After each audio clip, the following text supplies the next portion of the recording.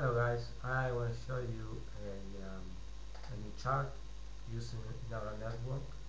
And this is the Euro USD and this is today the 30th of April 2010 and we are watching a 5 minute um, chart. And uh, you can see that um, the high for the day is uh, projected here the average high and down here this is the average low. Then we have um, we actually found three price patterns for today possible uh, projections. And uh, these are the blue line you can see here. Well this is where the price is right now exactly there. And um, from this point on this is the projected uh, path for the uh, Euro USD on a 5 minute chart. And um, the next one is the red one. You can see there.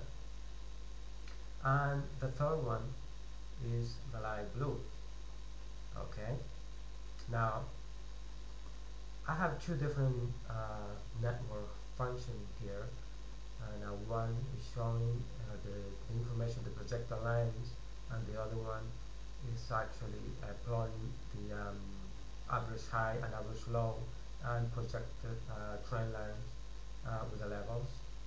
So I combine two different um, indicators. They are the same network uh, feeding the same information, processing the same amount of patterns and uh, price action uh, to actually tell you uh, same, same thing, but um, the way uh, it is shown on the chart is different so uh, we can have different perspective okay? So we found three uh, possible scenarios for Euro USD from this point on.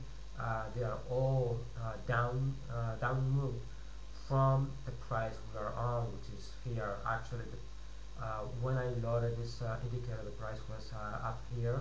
You can see here my short um, the price is now uh, here and uh, from this point on we uh, predict a down move for the Euro USD and um, I just wanted to show you this. Alright thank you